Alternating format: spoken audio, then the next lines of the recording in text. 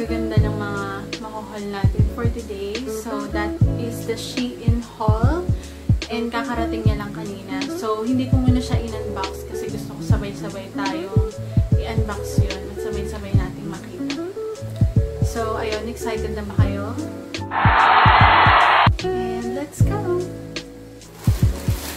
So, ayun siya guys. Buksan na natin.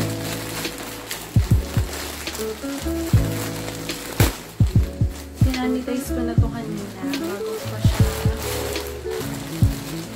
um, ilagay dito. Ang dami guys. Ito na ba yan? Oh my god. So, I think this is 16 pieces. Check natin. Ayun.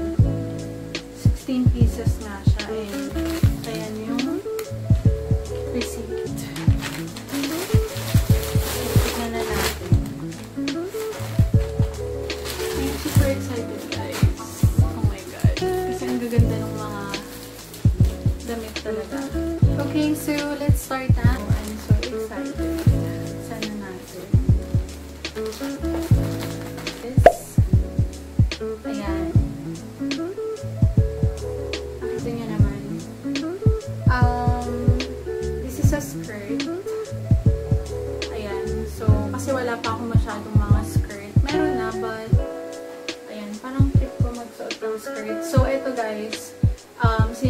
ko din yung size niya kasi baka hindi magkasya sa bewang ko. Alam niyo naman, hindi naman tayo ganun ka-sexy. But, ayun, kaya, kaya ako napili yung ganito na design kasi meron akong ah, binili din na ganito. So, try on natin if bagay sila. Insert ko na lang yung video. And, ayan. So, kung um, kung hindi kayo masyadong masyadong maliit yung bewang nyo guys, I highly recommend na mag-size up kayo sa large. Ayan, kasi syempre mamaya maliit yung size, hindi nyo masusuot. Sayang naman. So, ayan. Oh, I'm sorry. I got it in size medium pala. Ayan. Size medium. Kita. But, ayun. Try natin later kung kasya ba siya sa akin.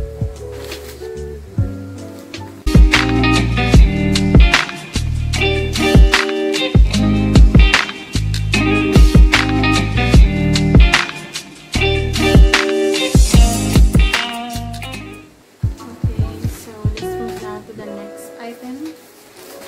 Hmm, So the next item that I got is this. Parang, parang ano siya. Oh my god, siya? So the next item that I've got is this. Ayan, hindi ko na-expect na see-through siya. But it looks good. Ayan, feeling ko okay naman siya. Um, nothing to worry naman kasi yung harap niya is, ayan, makapal naman. So, ang see-through lang is yung gilid, yung harap, and yung likod. But yung breast part ko hindi naman makikita. Breast part, parang chicken. So, ayun guys. Siyempre sa mga conservative, hindi ko siya advisable na bilhin nyo kasi, ayan, baka hindi nyo lang masuot.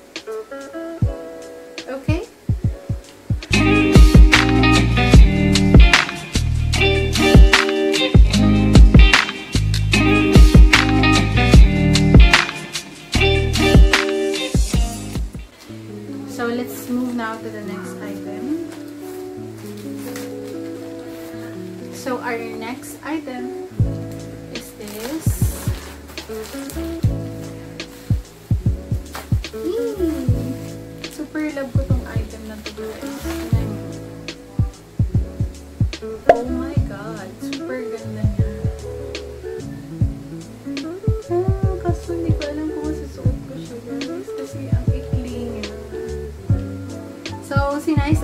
up ko rin siya sa size na medium. Kasi nga naisip ko baka maikli yung ditong part niya. But, ayan, maikli talaga pala.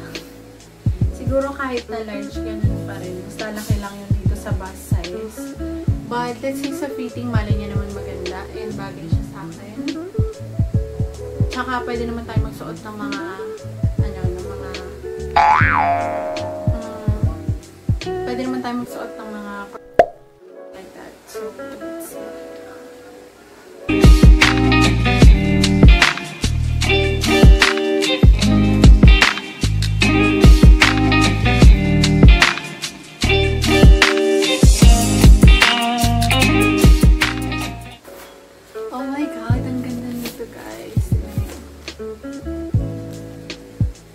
it match my phone case.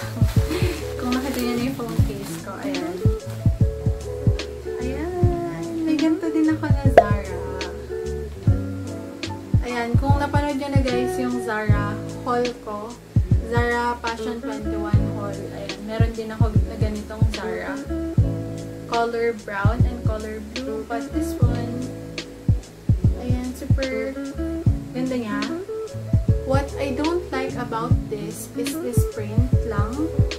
Ayan, kung makikita nyo guys, para siyang damage. Medyo naputok yung print ng cow. But, okay lang. Ayan, nag-size up din ako. I got it in size medium baka kasi hindi ko siya masuot. But, yung tela niya is cotton. So, ayan. Let's see sa fitting.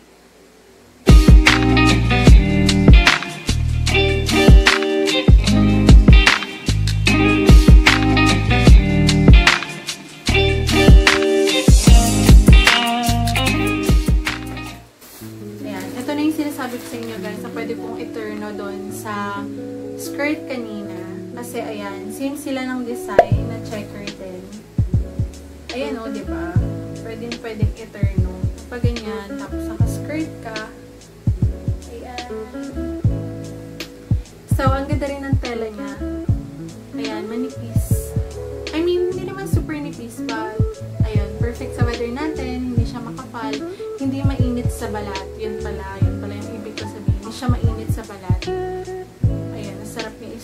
So, I got it in size large. Wow. Large na yung kinuha ko. Large na yung kinukuha ko kasi sakto lang siya and crop top pa din. So, ayun, saktong-sakto na sa size ko. And kahit guys, kuhain niyo yung medium na size, stretchable pa rin naman siya. So, nothing to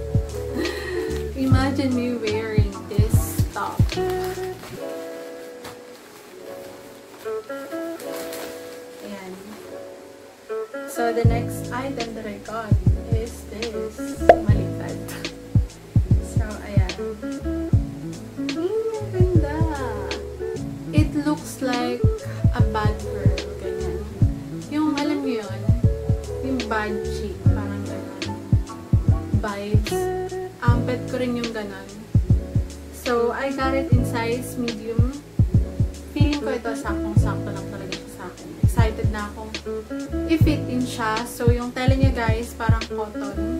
Cotton naman yun. And stretchable siya. Nakaka-sexy guys. So, I'm excited to wear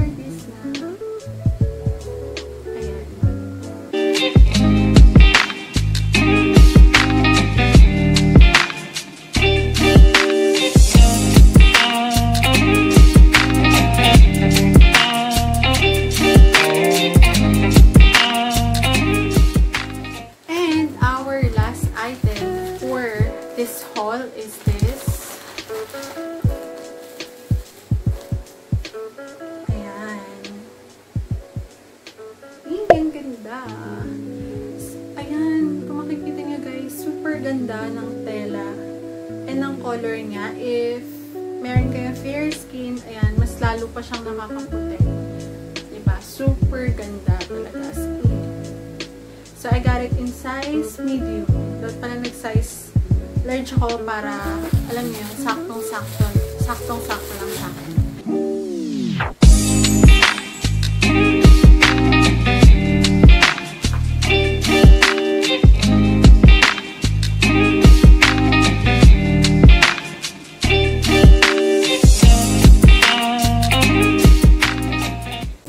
more hauls like this just comment it below and don't forget to like and subscribe guys. Please like this video and comment.